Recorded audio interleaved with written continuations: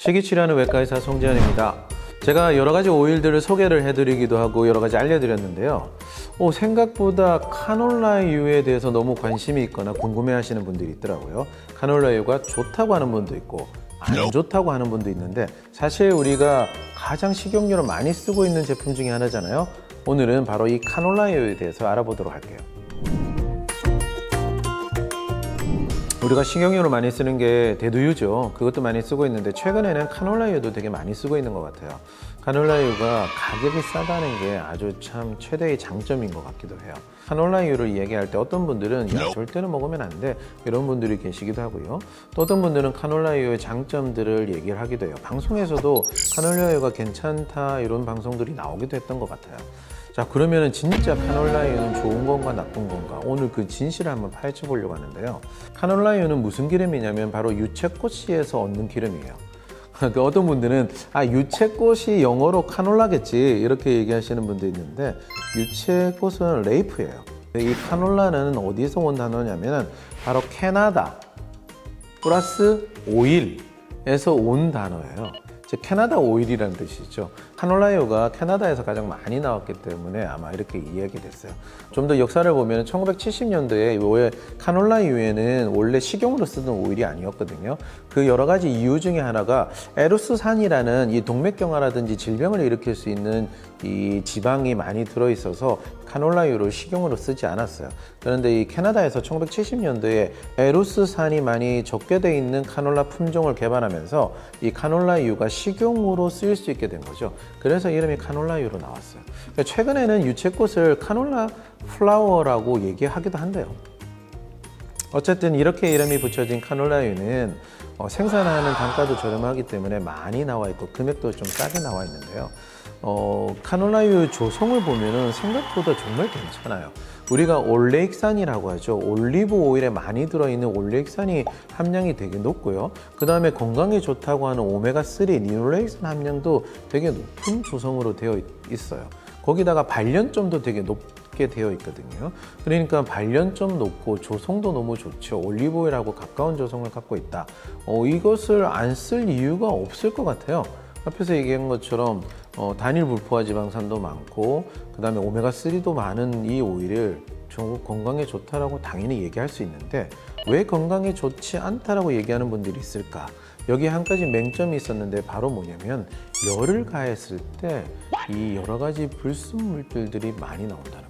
포도씨유가 가장 나쁘고요. 두 번째는 0도에서 240도까지 열을 가하면서 한 실험이 있었는데 어느 정도 열이 올라가니까 카놀라유에서 나쁜 산패 물질들이 급속도하게 많이 나오고 있다는 거죠.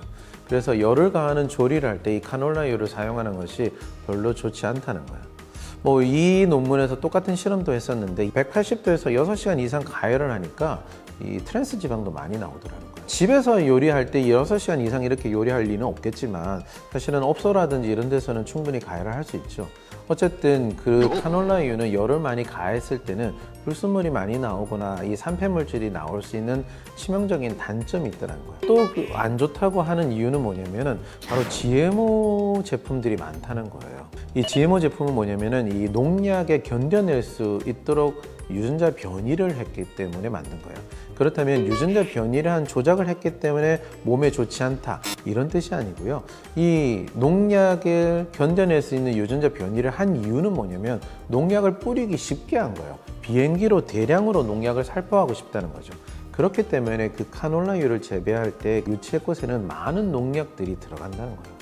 어, 유전자 변이가 되어 있는 여러 가지 변이 물질들도 있을 수 있겠으나 이 농약 성분들이 많이 들어가서 우리 몸에는 문제가 될 수도 있다는 거죠. 최대한 많이 배제를 하고 이 정제를 하겠지만 어, 그렇지 않은 제품들도 있을 수 있다는 거예요.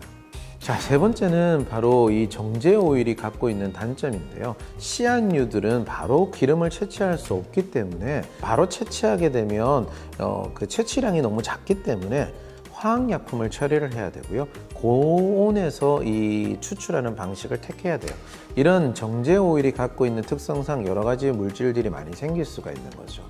그래서 어, 가야를 요리를 할 때 문제점이 생길 수가 있고 정제 과정에 만드는 쪽에 불순물들이 생길 수가 있고요. GMO 재배라는 문제점들을 가질 수가 있기 때문에 조성이 좋고 발연점이 높음에도 불구하고 카놀라유를 쓰시는 것은 별로 좋은 선택이 아니라고 보셔야 돼요.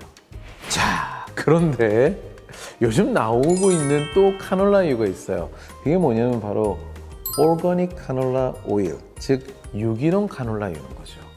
유기농 카놀라 오일은 뭐냐면 GMO도 아니고 그 다음에 냉압착 방식으로 추출을 했다는 거예요. 그 앞에서 했던 부분들이 많이 사라지게 되는 거죠. 즉 GMO 제품이라는 것도 오명을 벗을 수도 있고 그 다음에 냉압착 방식으로 추출을 했기 때문에 제 정제 오일 생성 과정에 생기는 불순물들이나 문제점들도 제거가 될 수 있다는 겁니다. 그렇지만 한 가지 단점이 있는 거는 어, 그대로 남아 있는 거죠. 열을 가했을 때 좋지 않은 물질이 나올 수 있다는 거예요. 그러면은 이 유기농 카놀라유를 사용할 수 있는 제일 좋은 방법은 뭐죠? 바로 그냥 뿌려 먹는다는 거예요. 옛날 방송에서 제가 한번 본 적이 있는데요. 그때 외국 분들이 요리할 때보다 그냥 샐러드에 저희들은 카놀라유를 뿌려 먹어요. 그렇게 얘기한 거를 제가 들은 적이 있어요. 그러니까 그 방식이 가장 좋은 선택일 수 있습니다. 자, 일반 시중에 나온 카놀라유를 선택해서 조리용으로 사용하겠다 했을 때는 정말 좋은 선택이 아닙니다. 그런데 유기농 카놀라유를 선택해서 어, 올리브유처럼 샐러드에 뿌려 먹는 방식을 선택하겠다 하신다면 한번 해볼 수 있는 방법이 되겠네요. 자, 카놀라유에 대해서 도움이 많이 되셨나요? 궁금한 것이 있다면 또 댓글로 남겨주세요.